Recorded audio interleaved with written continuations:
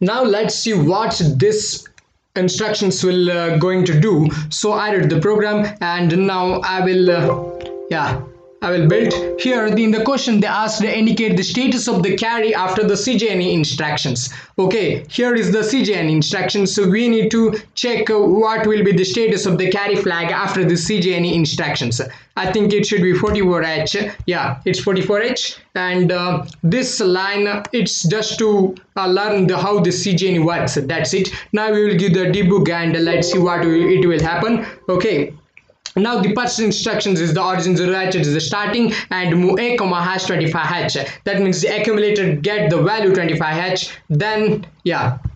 The accumulator get the value 25h okay then the cjne cjne this instructions uh, it will compares the operand 1 and the operand 2 that means here it will compares the data which is in the accumulator and the immediate uh, uh, data that is uh, hash 44 hash so it will compare those two datas and if those two datas are not equal then it will jumps to the uh, whatever the offset given here that means if these two are not equal it will directly jump to the over. That means over is here. It will jump to this branch and uh, uh, it will end the program. So if these two values are equal that means if it is a 44h then the next execution will continuous. It will not jump to the over. So here it is 25 okay the accumulator is 25 and now cjne a comma has 44h means um, a has the value 25h so it will come compares the 25H and the 45H. 25H and 44, 44 okay. 25H and 44H. These two values are different. It is not equal. So it will jumps to the this over over offset. Let's see that. Yeah it jumps to the over offset and it will end the program. You can see this ending of the program. It will not comes to this move a comma hash 10h but here we can see that the carry btc equals to 1 why this carry bit is equal to 1 in this CJNE instructions it also affects to this carry bit. That means uh, the first operand it will compares the CJNE instructions compares the first operand and the second operand and uh, one thing is that it will jump to the next offset if these two are not equal. And the second thing is that it will compare um, the first operand and the second operand if the first operand is less than the second operand that means here the hash 25h it is less when when compared to the 44h so the carry bit becomes uh, 1 so here the carry bit is 1 then uh, we will try some other examples okay?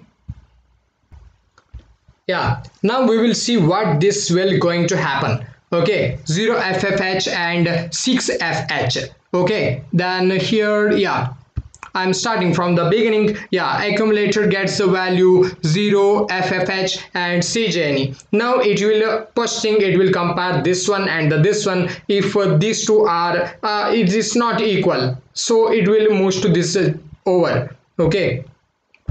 Yeah it moves to the over. But here now we can see that the carry flag is 0 because it will compare this one and this one. Here the first operand that means the accumulator which has the data 0 ffh but uh, 0 ffh is less than no no 0 ffh which is more than the 6 fh 0 ffh is obviously more than the 6 fh so the carry bit is 0 if the operand it will compares the operand 1 and operand 2 if the operand 1 is less then it will make the carry bit 1 here I will say once again just remember it.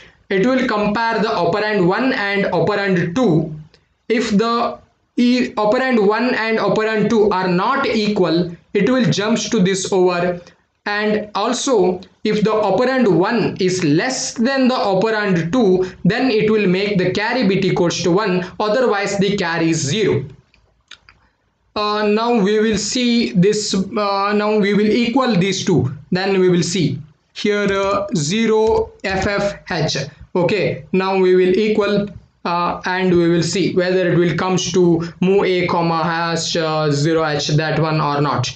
Mu a comma hash 10h okay.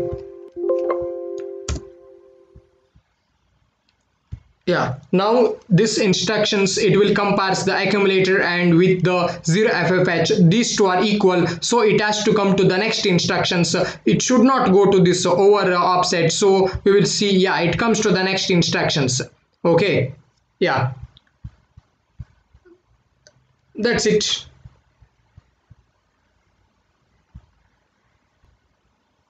Thank you.